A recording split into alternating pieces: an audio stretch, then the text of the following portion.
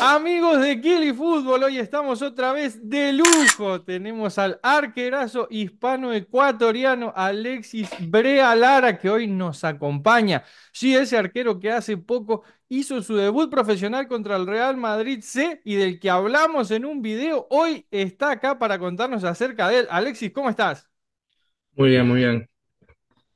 Alexis, bueno, primero agradecerte, la verdad que el video ahí que, que hicimos acerca de tus jugadas y, dando a conocer un poco de tus raíces tuvo muy buena eh, aceptación por parte de la comunidad y bueno, ahora queremos charlar contigo, así que vamos a empezar, como decimos siempre, por, por el principio. Alexis, ¿vos dónde, dónde naciste exactamente? Yo nací aquí en Madrid, en el Hospital La Paz, y nací en un pueblo que es pequeño, se llama Villanueva del Pardillo. Muy bien, ¿y tu familia, de, de dónde son tus familiares? Mi, mi papá es español y mi mamá es de Ecuador, de Guayaquil. Es de Guayaquil, tu señora madre. ¿Y ahí en tu casa se mantienen eh, las costumbres ecuatorianas? Todos, todos somos ecuatorianos, también compartimos un piso abajo con con colombianos, aquí Latinoamérica total. Latinoamericanos, qué bueno, qué bueno, Brea, vamos, vamos a charlar de eso también, pero nos interesa saber lo de lo del fútbol, ¿no? Vemos que ya debutaste a, los 18 años, pero ¿ya lo traías en la sangre esto del fútbol? ¿Alguien en tu familia jugaba? Toda mi familia por parte de mi mamá jugaba, mi- mis tíos, mi abuela, mi madre también jugaba allá en Ecuador. Eh, y bueno, yo la verdad es que al principio no, no iba a ser portero, iba a ser jugador, pero un día faltó un compañero mío y me dijeron, pues nada, ponte tú. Y me puse y me dijeron que lo hacía muy bien. Y mi madre pues dijo, pues va a ser portero. Y desde ahí soy portero. Qué bien, Brea, ¿de qué jugabas antes? Delantero, con cuatro años tenía. Desde muy chico ya el, el destino fue Mm. caprichoso y te, te puso ahí en, en, en el arco. ¿Tu familia entonces siempre, siempre te apoyó con esto del deporte? Sí, sí, siempre me apoyó. Además, una cosa que me contó mi madre otro día que yo no sabía hasta ahorita era que mm, cuando yo iba a nacer le daba muchas patadas al vientre de mi madre. Y justo dio la casualidad que mi mamá fue a ver un partido de fútbol cuando jugaba José Antonio Reyes. Claro. Y le tocó la tripa a mi mamá y me dijo, "Es- este va a ser futbolista.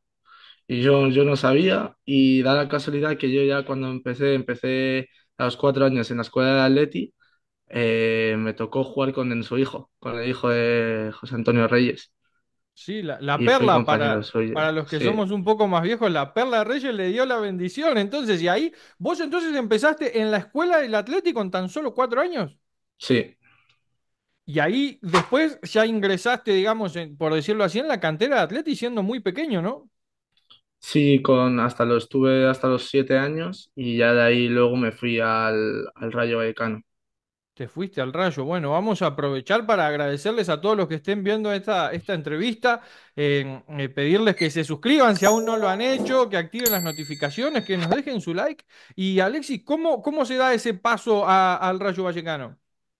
Pues llega, mm, llega al final de la temporada y le dicen a mi mamá que, mm, que yo era muy chiquitito, o sea, éramos niños aún, pero yo era el más pequeño de todos y era muy chiquitito y pues para ser arquero pues no necesitas altura. claro. Entonces pues dijeron que no, que no contaban conmigo por la altura y luego pues el Rayo Vallecano se, se interesó en mí y me fui para allá. ¿Cuántos años estuviste en Vallecas? Eh, tres años también. Y después, y después el Atleti se dio, se dio cuenta de su error, ¿no? Como, como comentaba yo por ahí Sí. en un video, eh, te vuelve a llamar el Atleti ¿en qué año más o menos, Brea? Eh, puede ser 2014, creo que era. 2014 me llamó y para jugar a Levines de primero, creo que era. Alevines de Que primero. son sub 8. Sí, sí, y ahí estuviste otros tres años en el Club Colchonero.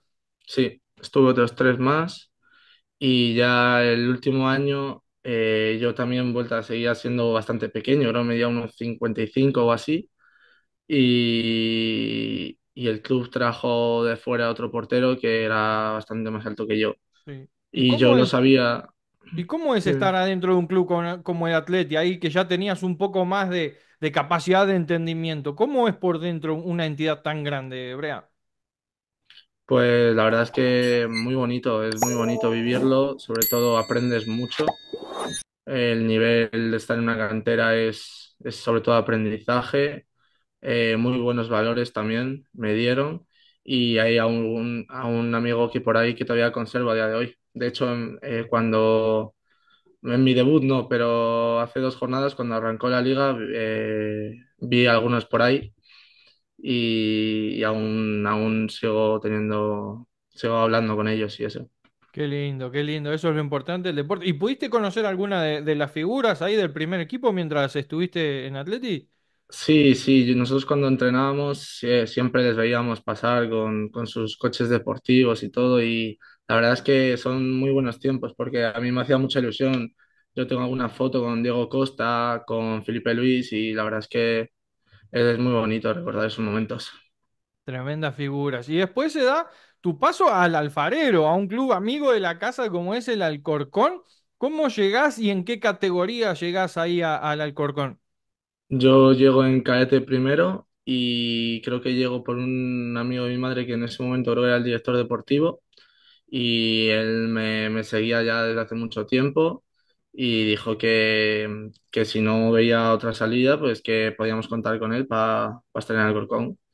Y ahí jugué dos años, cadete primero y cadete segundo, y la verdad es que bastante bien.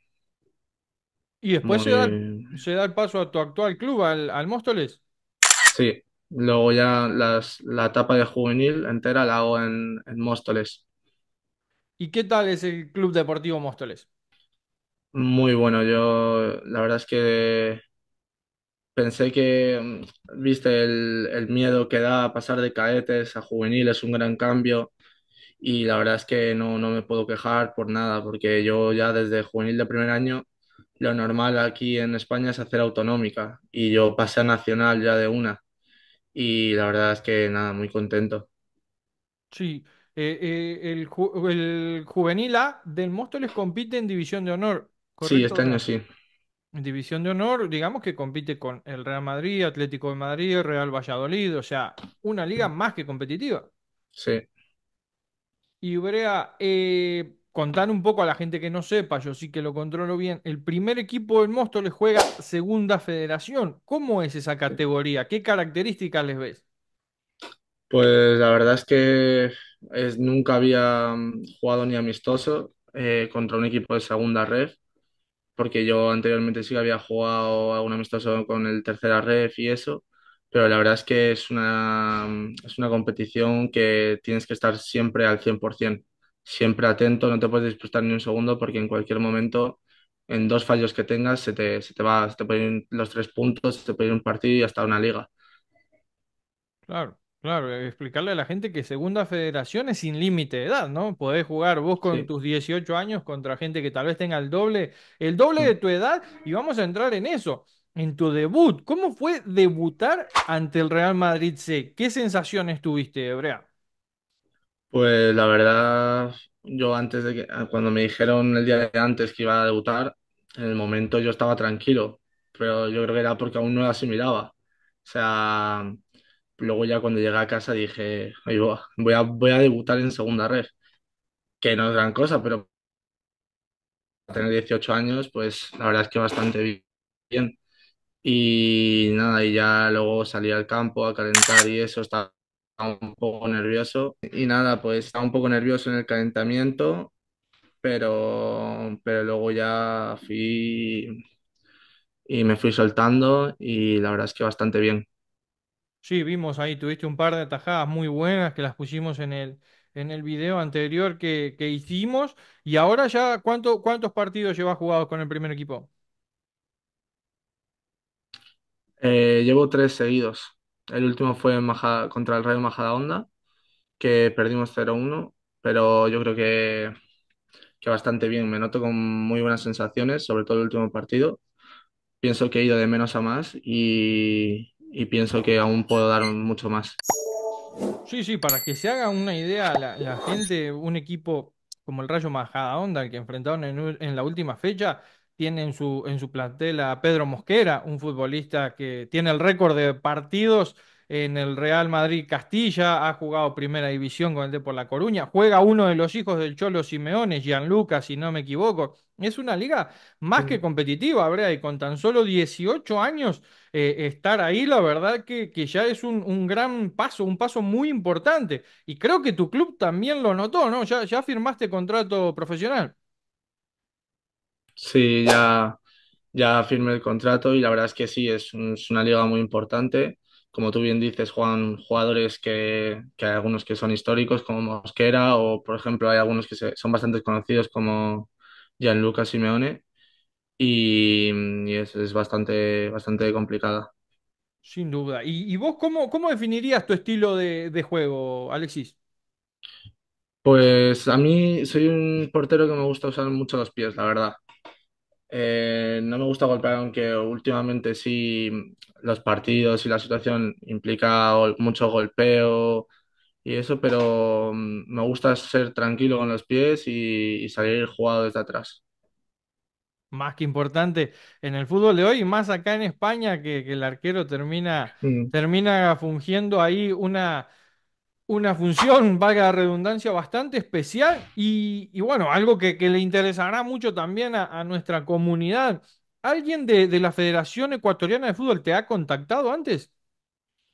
Eh, sí, fue un día, nada, volví a entrenar y a mi mamá la llamó una tía suya, que de ahí de Ecuador, y dijo, míralo, mira Twitter, creo que era, mira Twitter, eh, el Twitter de la Tri.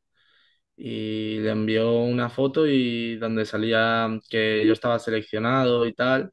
Entonces mi mamá ahí eh, se puso a hablar con ellos y al final no se pudo dar por el tema del COVID.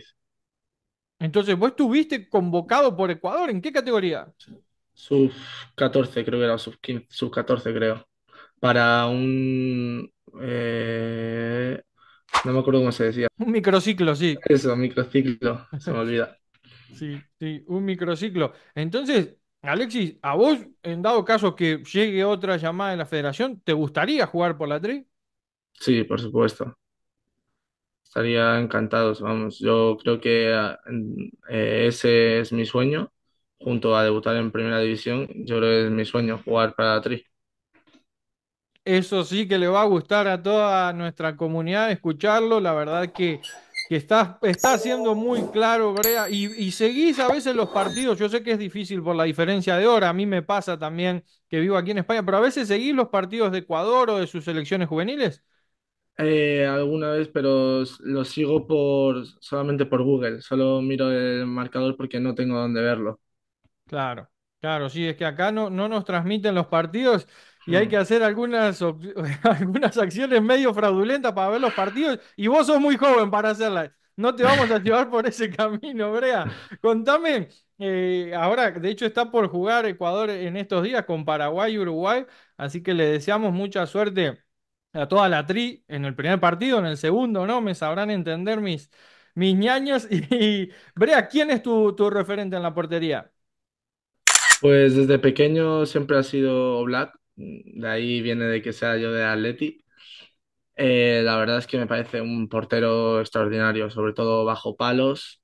Eh, hay mucha gente que dice que no tiene un buen juego de pies, pero yo creo que para Leti, para mí es el portero perfecto. Tremendo arquero, con, con un récord de partidos, si no me equivoco, eh, increíble en el club colchonero. ¿Y, y cuál es tu meta a corto plazo, Brea? A corto plazo, yo sé, yo creo que está difícil, pero yo creo que sería ir a entrenar algún día con la Tri, porque, bueno, y mantenerme en, en el nivel que me mantengo ahora mismo con mi club. Y de momento, así a corto plazo, solo seguir mejorando. Y tus sueños, como nos dijiste, defender la tricolor y jugar en primera. Mm, así es. Excelente, Alexis. ¿Y vos, vos conocés algún otro caso, así como vos, con, con familia ecuatoriana que, que juega acá en España o en algún otro país?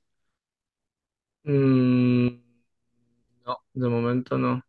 De momento no, bueno, quería ver a ver si nos dabas algún dato más, viste que nosotros siempre estamos en, en pleno scout de eso. Y bueno, Alexis, agradecerte un montón por tu tiempo, de verdad que estamos muy contentos de, del desarrollo que, estás teniendo. Y por último, que nos dejes un mensaje para la afición que, te ha apoyado tanto. Nada, pues para toda la gente que, que me apoya, muchísimas gracias de corazón. Eh, nada, estoy muy contento de, de que me hayas traído tú aquí, porque significa mucho para mí, aunque no lo creas. Y como has dicho al principio, que muchas gracias por darme tu tiempo, igualmente. Muchas gracias a ti también por dar, por darme tu tiempo e intentar hacer conocido a gente ecuatoriana que también juega fuera de Ecuador. Alexis, agradezco muchísimo por, eh, por tus palabras, de verdad que lo hacemos de, de todo corazón. Y bueno, gente, les agradecemos un montón por ver este video, ya lo escucharon de su propia boca, su sueño es vestir esta camiseta, la tricolor. Y bueno, será en un próximo video que nos volvamos a encontrar, les mando un abrazo enorme de gol.